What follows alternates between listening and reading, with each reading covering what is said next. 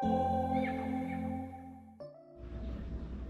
everyone, I'm uh, starting my very first vlog, so this feels weird, but oh well.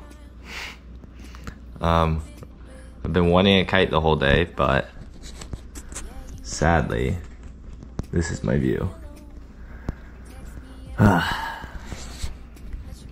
it's been off and on for the last few hours and offshore, so I'm heading down south, hoping that I might get a nice session. We'll see. Alright, this is truly, truly sad. I cannot figure out which kite, what board to bring, so why not just bring everything, right? Look at this. Car's already full. I gotta fit all that. Yeah, I already got two boards in there. Three. Alright.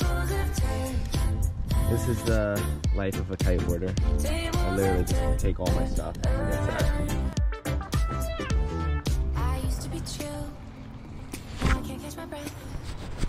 Alright, you guys gotta check this out. I literally have a 6 meter, a 10, a 13, a 15, and a 19. So I'm 6 to 19. this is, this is, I just, I can't, I can't even say. Because if um, the wind picks up a lot, use my 6. The wind drops, 19.